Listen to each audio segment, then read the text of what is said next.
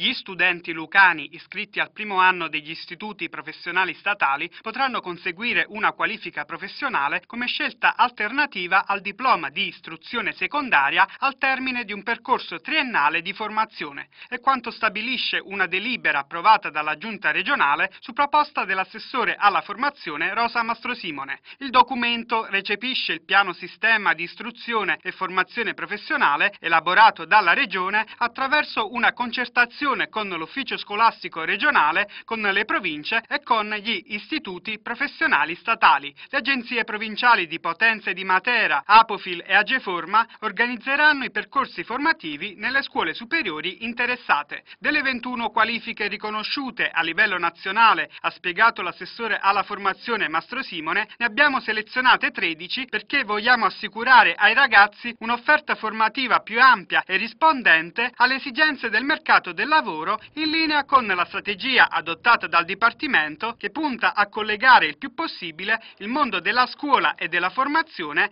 al territorio e alle realtà produttive.